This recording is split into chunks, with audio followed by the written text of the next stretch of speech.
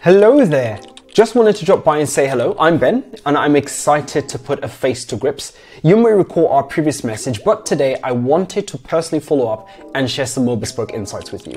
Now let's talk business. The home and garden category is one that's booming, with a total market size in the US sitting at around $6.4 billion for December of 2023. And guess what?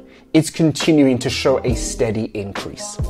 We're here to show you the ins and outs of this growth the retailers, the assortment, marketing channels that are all actually driving it.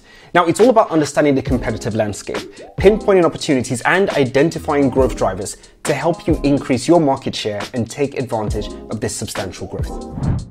So, are you ready to explore more with us? Then book a demo and we'll walk you through how you can become market leaders in the home and garden space. We're eager to show you how grips can be the catalyst for your own success. With that, I'll see you soon.